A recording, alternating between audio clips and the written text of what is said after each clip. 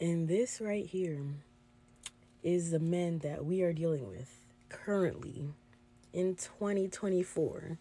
So, like, if you guys go back and read this whole thread, this guy is basically arguing with me. He's like, Oh, I love 50 50. It works for me and my relationship, blah, blah, blah. And as you can see, all I said was, I'm not a 50 50 person. Like, if you want to do that, sure. Okay, but that shit ain't for me. Because I've, I've dealt with plenty of broke, dusty guys, and that shit ain't for me, okay? Um, and then he's like, You know how to cook? You know how to clean the house from top to bottom?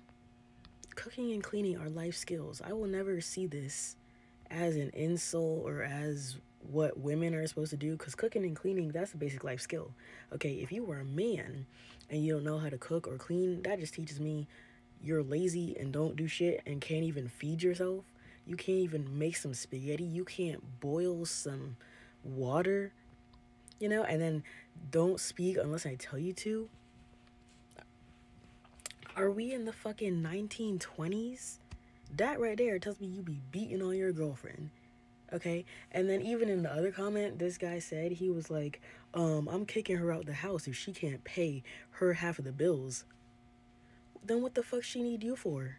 At that point she should just go and get herself her own house. If she making money she paying 50 50 you're not doing anything for her unless she does stuff for you first. What the fuck she need you for? Like i feel extremely bad for women who are in relationships with men like this because men like this are the ones that I'm like extremely scared of. Especially like they be talking all this shit, right? But then you look at his profile and they look ugly as fuck. And he's trying to be a rapper when he's like 40 years old. So like you're over here telling me that you're a shitty ass man, don't know how to treat women, bash women on the internet, wanna be a rapper, beat probably beat on your girlfriend and then you be looking like that the audacity you got the audacity to look the way you do and talk all this shit and treat women how how you do you know? And like that's why i'm so grateful that i had like both parents in my life to teach me like not to put up with men like this because oh no. This is just wow